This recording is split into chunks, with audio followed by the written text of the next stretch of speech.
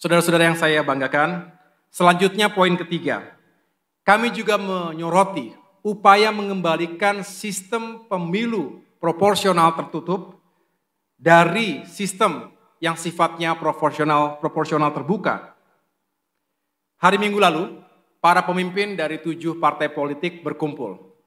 Kami dengan kesadaran ingin bertemu dan membahas isu ini. Dan kami sepakat bahwa harus kita tolak segala upaya dan wacana untuk mengembalikan sistem pemilu menjadi proporsional tertutup.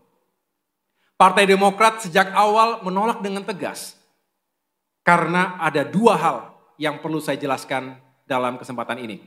Yang pertama, jangan sampai ada hak rakyat yang dirampas dalam kehidupan demokrasi ini. Jika terjadi atau diberlakukan sistem pemilu proporsional tertutup, maka artinya warga negara, masyarakat kita tidak memiliki hak ataupun tidak bisa memilih wakil-wakil rakyatnya secara langsung. Seolah-olah dipaksa untuk membeli kucing dalam karung. Bukankah ini yang juga sudah kita terus perjuangkan di masa reformasi agar masyarakat benar-benar bisa menggunakan haknya untuk memilih orang dan wakil rakyat yang dianggap terbaik bisa membawa aspirasi diri dan kelompoknya.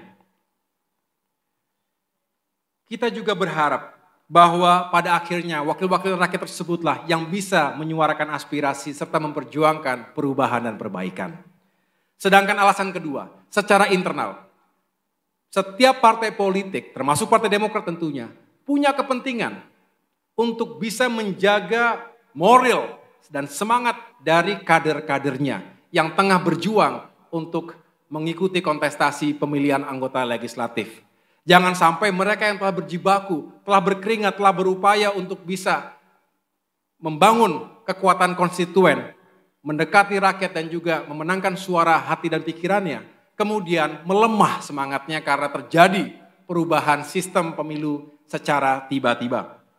Kita ingin seluruh kader Partai Demokrat juga memiliki ruang dan peluang yang adil.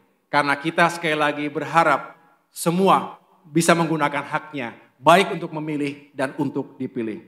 Oleh karena itu, atas dua alasan tadi, maka Partai Demokrat berharap sistem proporsional terbuka sesuai dengan undang-undang berlaku saat ini masih tetap dapat dipertahankan untuk pemilu 2024 nanti. Saudara-saudara sekalian, permasalahan yang kita hadapi saat ini adalah ujian nyata bagi kita semua untuk memegang saya ulangi, untuk memegang teguh komitmen dalam berdemokrasi. Karena itu, saya mengajak kepada semua kalangan, sekali lagi kepada teman-teman jurnalis, kalangan masyarakat sipil, para akademisi, aktivis, buruh, semua yang merasa penting untuk terus menjaga kehidupan demokrasi yang bermartabat di negeri kita.